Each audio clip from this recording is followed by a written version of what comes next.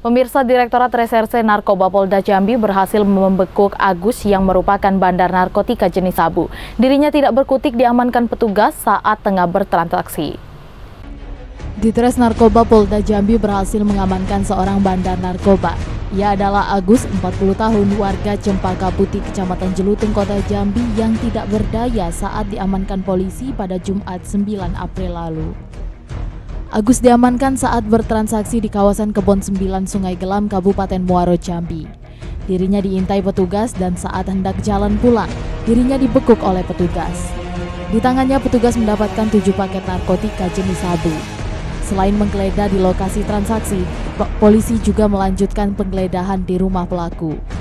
Ditemukan kembali empat paket kecil sabu di dalam dompet pelaku, Kanit Subdit 3 Ditres Narkoba Polda Jambi Ibda Rahmat yang turut memimpin operasi mengatakan Agus merupakan residivis kambuhan.